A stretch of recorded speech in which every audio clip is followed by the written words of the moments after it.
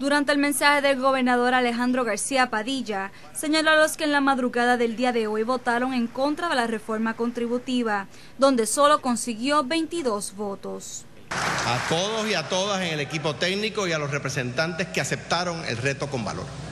Ustedes dieron el paso valiente y estuvieron dispuestos a poner a Puerto Rico primero.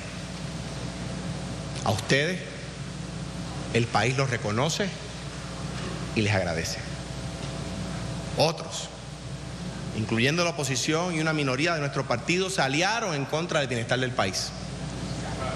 Este acto de egoísmo y deslealtad es un episodio triste en la historia de nuestro país. Según el primer mandatario, su gobierno heredó un déficit, la cual luego de reducir gastos públicos y de hacer varios ajustes, han podido bajar esa cifra. El déficit Déficit que era de 2.200 millones de dólares.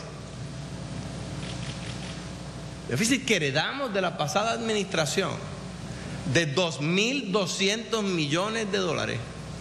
Luego de varias, de varias medidas remediativas, será menor de 200 millones de dólares al terminar este año fiscal. Luego de hacer un recuento de la grave situación fiscal del país, el gobernador Alejandro García Padilla presentó a la Asamblea Legislativa el plan de acción de su administración para hacer frente a la crisis, luego de que no lograra la aprobación de la reforma contributiva. Les adelanto que el plan de mi administración ante esta situación consistirá, consistirá de recortes en todas las ramas de gobierno sin despidos. Se reestructurará radicalmente, como les había adelantado, el Departamento de Hacienda para mejorar aún más la captación de ingresos que hemos ya llevado a niveles históricos.